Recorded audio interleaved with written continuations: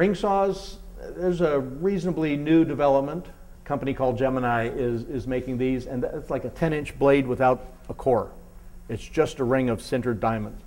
And it's almost like having a water jet in your shop. It's, uh, this video says it all. And there are large and small ring saws available. Uh, smaller ones are, are more geared towards doing thin glass, like stained glass. Uh, thicker ones, he's just cutting a, a dalle de verre there, so it's probably an inch thick. And going through it pretty quickly. Turning it on, you know, you're getting all kinds of wonderful curves. There is a maintenance uh, issue with these. I mean, you got to pay attention to the belts and the grommets and the pulleys and all that are inside. It also is self-contained water-wise. If you have one of these and you don't know it, adding ice to the water will make the tool run more efficiently, just keeping it cold because a lot of friction happens and uh, the glass and the water can get warm after a while.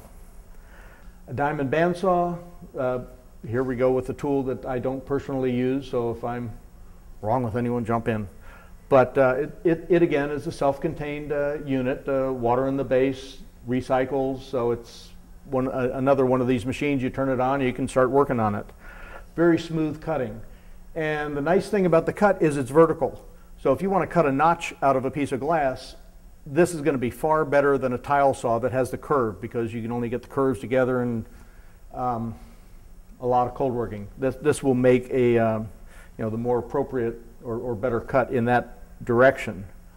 The downside is you're really limited to the size of the throat in the saw depending on the size of your saw. It could be a few inches, could be you know eight or ten inches. And the bandsaw's blades are reasonably pricey, and they always break prematurely before the diamonds wear out. Some companies can re-weld them, but uh, again, it's it's a machine that's going to require hmm, a bit of maintenance and patience as, as you learn how to use it most efficiently. There are different ways of making saw blades. Most of it is sintered. Sintered is where the diamond is encapsulated in metal, much like gravel in concrete. So as the metal wears away, new diamonds are exposed. And again, like I said before, it is a very narrow grinder. So the quality of the diamond, the grit of the diamond, the concentration of the diamond, all makes a difference as to how it cuts. You can get big slabbing saws that are thick, really gnarly diamonds in it, and they'll go through your bricks and glass in a heartbeat and chip like the devil. There are finer blades that are thinner if your work is kind of precious. If you're doing pattern bars and you don't want to waste it with a thick cut, you can get a thinner blade. Uh, there are even uh, resin bonded blades, which leave the smoothest, finest cut, are painfully slow to cut through anything, and generally used only in scientific glass working where they're cutting tubing, very thin things. A core drilling is, um, again, um, a circular grinder. So depending on how you're drilling or what you're drilling through and what your priority is, you may be after the core or you may be after the hole. The core can get stuck in there, and that almost always happens.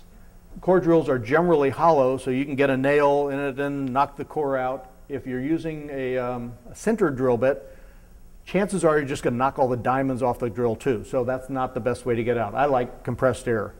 put it in the back and outshoot your glass. Um, aim carefully.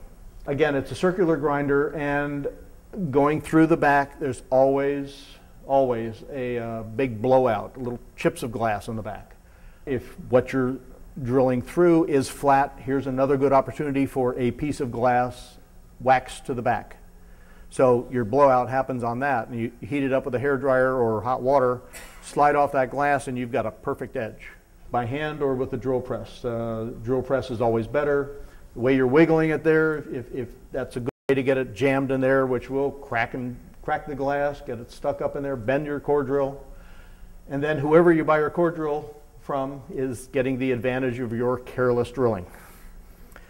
They're, they're also sintered diamonds or electroplated. Uh, the electroplated is kind of a single use, not a single hole, but you drill until the diamonds are worn off the edge and then it's thrown away because it's no longer um, a drill. Sintered may give you a centimeter of diamond to, to wear through as you're going through. So it's much more efficient.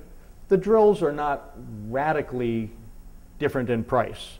Sintered drills may be a little bit more expensive, but the sintered drills should have a water feed assembly that will cause water to go through the drill and wash out the ground glass for its, um, for, for its life and the efficiency in the glass.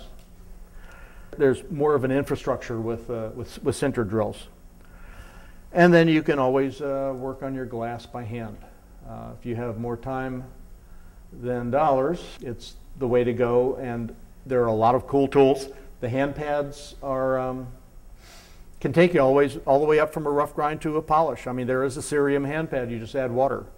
So it's just a different way of getting it. It's good for a little blemish removal. You got a you're doing a casting, you get all the little spikes on the edge. You can sand those off. All depends on what and how you need to uh, finish your glass. Dirty.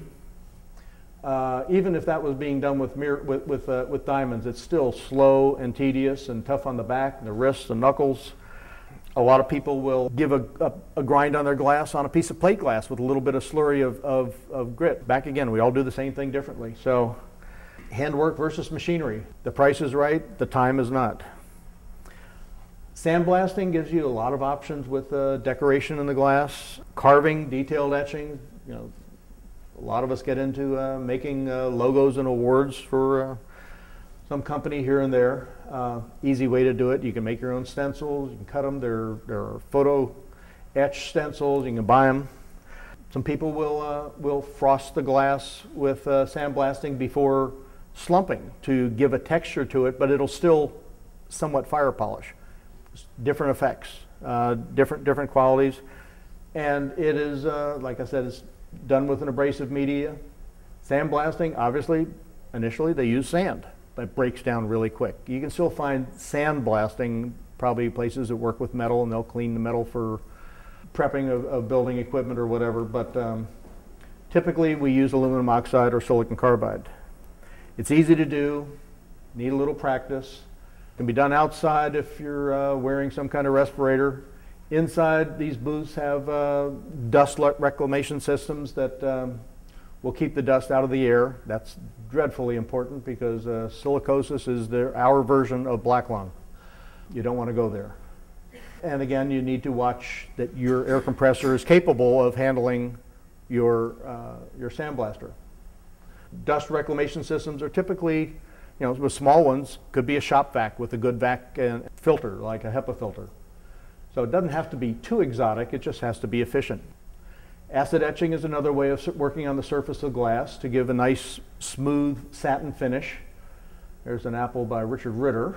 He creates his forms and then immerses them in uh, a hydrofluoric etching solution.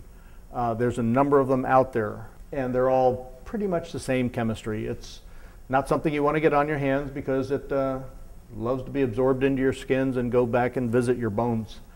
Painful. I've been there, done that once. But the surface is very uniform, smooth matte finish. The etching process, acid etching, will etch different colors differently. You, you may find if you're doing something with a lot of colors, the black will etch, but the white will not, and the red is kind of iffy. In that case, a lot of people will give their glass a light sandblasting first and then acid etch it to get the finish that they want, and it'll be very uniform. So it's just a different way of, of approaching uh, surface finishing. It is toxic and dangerous and needs to be done with uh, good housekeeping rules of, uh, of safety.